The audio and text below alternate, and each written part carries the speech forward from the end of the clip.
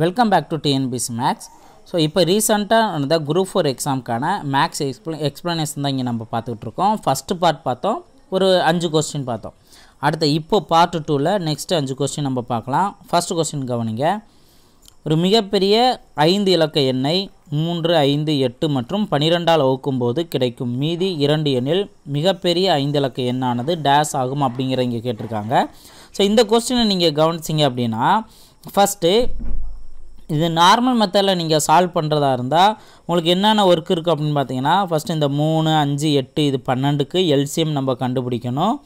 அதுக்கடுத்து மிகப்பெரிய ஐந்து இலக்க எண் மிகப்பெரிய ஐந்து இலக்க எண் என்ன அப்படின்னு பார்த்தீங்கன்னா இந்த தொண்ணூத்தொம்பதாயிரத்தி தொள்ளாயிரத்தி தொண்ணூத்தொம்போதோட நீங்கள் கம்பேர் பண்ணணும்.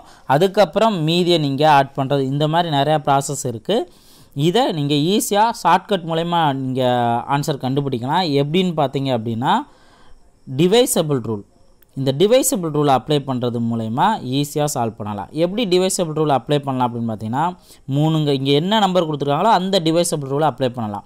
இன்கேஸ் நீங்கள் டிவைசபிள் ரூல் வீடியோ நீங்கள் பார்க்கல அப்படின்னா நான் நம்மளோட சேனலில் டிவைசபிள் ரூலுக்கான வீடியோ கொடுத்துருக்கேன். அதே போல் எல்சிஎம் அண்ட் ஹச்சிஎஃப் பார்ட்லேயுமே இந்த மாதிரி சம்ஸுக்கு டிவைசபிள் ரூல் மூலயமா தான் சால்வ் பண்ணி கொடுத்துருக்கேன். ஸோ நீங்கள் அதை பாருங்கள் கண்டிப்பாக உங்களுக்கு யூஸ்ஃபுல்லாக இருக்கும்.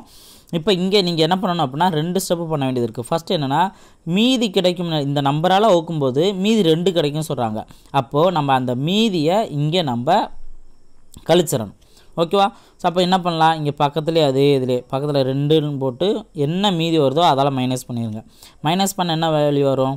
ட்ரிபிள் நைன் செவன் ஜீரோன்னு வரும். செகண்ட் ஆப்ஷன் பிக்கு ட்ரிபிள் நைன் ஃபைவ் சிக்ஸ்னு வரும். அடுத்து ட்ரிபிள் நைன் ஃபைவ் எயிட்டுன்னு வரும். லாஸ்ட்டு ட்ரிபிள் நைன் சிக்ஸ் ஜீரோன்னு வரும். இதுதான் ஒரிஜினல் நம்பர் ஓகே அதாவது ஒரிஜினல் நம்பர் மீன்ஸ் என்ன அப்படின்னா இங்கே கொடுத்துருக்கிறது ஒரிஜினல் நம்பர் தான். இது முழுசாக அந்த மீதியை கழிச்சிட்ட பின்னாடி இந்த நம்பர் தான் முழுசாக மூணோ அஞ்சோ எட்டோ பன்னெண்டோ ஏதோ ஒரு நம்பர் இங்கே கொடுத்துருக்க நம்பர் வந்து ஏதோ ஒரு நம்பர் முழுசாக டிவைட் பண்ணும். ஓகேவா? ரைட் இப்போ ஈஸியாக எலிமினேட் பண்ணிடலாம். அஞ்சுங்கிற நம்பரை நீங்கள் பாருங்கள் ஏதோ ஒரு நம்பரை நம்ம அஞ்சால் டிவைட் பண்ணோம்னா லாஸ்ட்டில் ஜீரோ இருக்கணும் அல்லது அஞ்சு இருக்கணும். இது இருந்தால் மட்டும்தானே அஞ்சால் டிவைட் பண்ண முடியும் முழுசாக அப்போ இங்கே ஆப்ஷன் பியும் ஆப்ஷன் டி சியும் கவனிங்க. ஐம்பத்தாறு வருது ஐம்பத்தெட்டு வருது. ஏற்கனவே மீதியை ம கூட இங்கேயும் மீதி வரும். அப்போ இந்த நம்பர் முழுசாக அஞ்சாலையும் அஞ்சால் டிவைட் ஆகாது அப்படிங்கிற தெரிஞ்சுக்கலாம். அப்போ ஆப்ஷன் பியும் சியும் வராதுங்கிறத கன்ஃபார்ம் பண்ணிடலாமா? ஓகே அதுக்கு அடுத்தது ஈஸியாக டிவைசபிள் ரூலை நீங்கள் அப்ளை பண்ணலாம். என்ன? மூணுங்கிற டிவைசபிள் ரூலை அப்ளை பண்ணலாம். மூணுங்கிற டிவைசபிள் ரூல் என்ன அப்படின்னு நீங்கள் கேட்டிங்க அப்படின்னா கொடுத்துருக்க பெரிய டிஜிட் நம்பரோட எல்லாத்தையும் ஆட் பண்ணால் வர்ற நம்பர் மூணால் டிவைட் ஆகணும். இப்போ எக்ஸாம்பிள் பார்த்தீங்கன்னா இங்கே ஒன்பது ஒன்பது ஒன்பது ஏழு ஜீரோன்னு இருக்குது ஒன்பது ஒன்பது கூட்டினா பதினெட்டு. பதினெட்டையும் ஒன்பது கூட்டினா இருபத்தி ஏழு.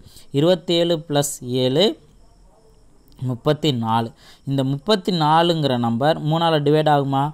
கிடையாது. மீதியும் ஒன்று வரும். அப்போ முழுசாக டிவைட் ஆகலை. அப்போ ஆப்ஷன் ஏவும் வரல.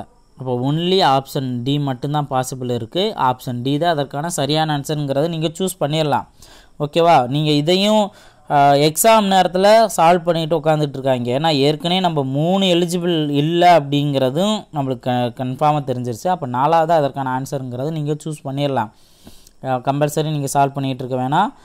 டைம் வேஸ்ட் பண்ண வேணாம். ஏன்னா இந்த குரூப் ஃபோர் எக்ஸாமில் நிறையா டைம் நிறையா ப்ராப்ளம் பார்த்தீங்க அப்படின்னா கொஞ்சம் டைம் எடுத்து சால்வ் பண்ணுற மாதிரி சுச்சுவேஷன் இருந்தது. இப்போது நம்ம இந்த மாதிரி ஷார்ட்கட் அப்ளை பண்ணுறது மூலிமா எந்த நேரத்தில் நம்ம டைம் சேவ் பண்ணணும் அப்படிங்கிறதையும் கவனிக்கணும். ஓகே இப்போ நீங்கள் சால்வ் பண்ணுறீங்க அப்படின்னா இதை எல்லாத்தையும் ஆட் பண்ணுங்கள் லாஸ்ட்டு கொடுத்துருக்க நம்பர் எல்லாத்தையும் ஆட் பண்ண அப்படின்னா முப்பொம்பதா இருபத்தி ஏழு. எல்லாத்தையும் ஆட் பண்ணால் அடுத்து இருபத்தேழு ப்ளஸ் ஆறு முப்பத்தி மூணு. முப்பத்தி மூணு மூணால் டிவைட் ஆகுமா? ஸோ அங்கே இதுதான் கரெக்டான ஆன்சருங்கிற சூஸ் பண்ணிடலாம். சார் நீங்கள் மற்ற நம்பர்லாம் செக் பண்ணலையே அப்படின்னு சொல்லிட்டு டவுட் கேட்கலாம். சார் அஞ்சா எட்டா இந்த மாதிரிலாம் நீங்கள் செக் பண்ணவே இல்லையா அப்படின்னு நீங்கள் கேட்கலாம். நீங்கள் எட்டு டிவைட் ஆகணும் அப்படின்னா லாஸ்ட்டு த்ரீ டிஜிட் நீங்கள் கம்பேர் பண்ணி பாருங்கள் அதையும் ஈஸியாக முழுசாக வந்து எட்டால் டிவைட் ஆகும். லாஸ்ட்டு த்ரீ டிஜிட் தான் எட்டு டிவைசபிள் ரூலுக்கானது அடுத்தது பன்னெண்டு அப்படின்னு பார்த்தீங்கன்னா மூணு இன்ட்டு நாலு தான் பன்னெண்டுங்கிற மாதிரி எடுத்துக்கலாம். மூணுங்கிற டிவைசபிள் ரூல் ஏற்கனவே நம்ம செக் பண்ணிட்டோமா? நாலுங்கிற டிவைசபிள் ரூல் பார்த்தீங்க அப்படின்னா லாஸ்ட் டூ டிஜிட் செக் பண்ணலாம். ஸோ இதுதான் அந்த டிவைசபிள் ரூல் அந்த வீடியோ நீங்கள் பார்க்கல அப்படின்னா நீங்கள் பாருங்கள் கண்டிப்பாக உங்களுக்கு ரொம்பவே யூஸ்ஃபுல்லாக இருக்கும். அடுத்த கொஸ்டின் பார்க்கலாம். அடுத்த கொஸ்டின் பாருங்கள் அடுத்த கொஸ்டின் பாருங்கள் four power three point five is to two power five என்பதற்கு சமமான விகிதம் என்ன அப்படிங்கிறத இங்கே கேட்டிருக்காங்க. இதை ஈஸியாக சால்வ் பண்ணலாம். இப்போ four power three point five is to two power five இதில் பேஸ் சமமாக நம்ம கொண்டு வரணும். பேஸ் சமமாக கொண்டு வர பாசிபிள் இருக்கா? எஸ் ஃபோர் அப்படிங்கிறத நம்ம என்னென்னு எழுதலாம்? டூ ஸ்கொயர்னு எழுதலாமா? அப்போ நான் ஃபோருங்கிறத மட்டும் டூ ஸ்கொயர்னு எழுதிட்டேன். ஏற்கனவே பவரில் த்ரீ பாயிண்ட் ஃபைவ் இருக்குது is to two power five இப்போ இந்த டூவால் உள்ள மல்டிபிள் பண்ணோம்னா என்ன ஆகும்? டூ பவர் செவன் வரும். இங்கே டூ பவர் ஃபைவ்னு வரும். ஒரு சில பேர் என்ன பண்ணுவாங்க அப்படின்னா இந்த ஸ்டெப்புக்கு அப்புறம் ஒரு மிஸ்டேக் பண்ணிடுவாங்க என்ன மிஸ்டேக் அப்படின்னா இங்கே டூ பவர் அதாவது பேஸ் சமமாக தான் இருக்குது அப்போ இங்கே மேலே இருக்கிறது தான் இதோட ரேஷியோ அப்படின்னு நினச்சி செவன் பாயிண்ட் ஃபைவ்னு போட்டுருவாங்க. ஆப்ஷன் சியை சூஸ் பண்ணிடுவாங்க தவறு.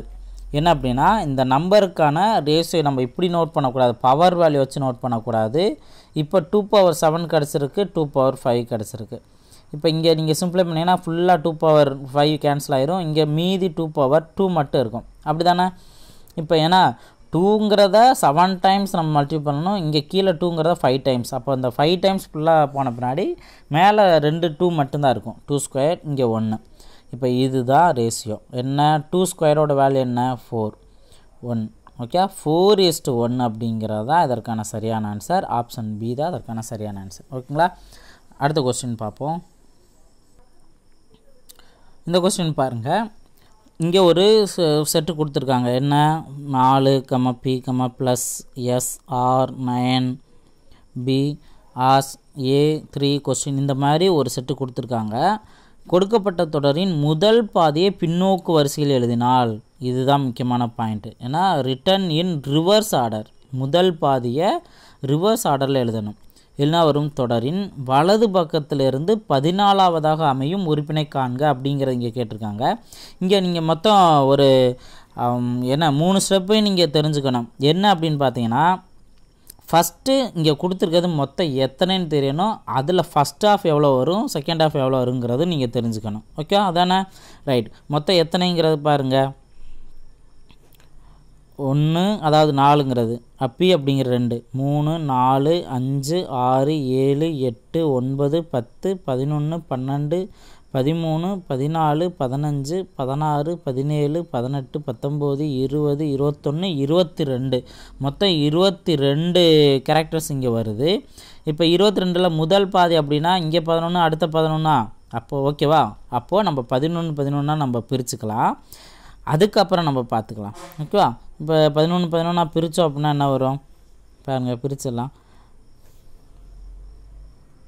ஓகே பதினொன்று பதினொன்றா பிரித்தோம் அப்படின்னா இப்போ ஃபஸ்ட்டு ஒன்று ரெண்டு மூணு நாலு அஞ்சு ஆறு ஏழு எட்டு ஒன்பது பத்து பதினொன்று இந்த கொஸ்டின் மார்க் வரைக்கும் பார்த்தீங்க அப்படின்னா இங்கே பதினொன்று இருக்குது இதுக்கப்புறம் வந்து பதினொன்று இருக்குது இப்போ ஃபஸ்ட்டு ஒர்க்கு இப்போ தான் நம்ம பண்ணியிருக்கோம். அடுத்து செகண்ட் ஒர்க் என்னென்னா வலது பக்கத்தில் இருந்து அதாவது ஃபஸ்ட் ஒர்க் என்ன பண்ணலாம்? பதினோரு பதினொன்று பிரிச்சிருக்கோம். முதல் பாதியை பின்னோக்கு வரிசையில் எழுதினால் அப்படின்னு சொன்னாங்களா? அப்போ இதுதான் முதல் பாதி. பின்னோக்கு வரிசை அப்படின்னு பார்த்தீங்க அப்படின்னா உங்களுக்கு என்ன இருக்கும்? கொஸ்டின் மார்க் வந்து ஃபஸ்ட்டு வந்துடும் அடுத்து மூணுங்கிற செகண்ட் வந்துடும் இந்த மாதிரி போயிடும் ஓகேவா அப்போ இங்கே நாலு அப்படிங்கிறது என்ன? இந்த ஏழு இந்த லாஸ்ட்டாக இங்கனக்குள்ளே இருக்கா? பதினொன்றாவது இங்கே ஏழுக்கு அடுத்து நாலு வரும்.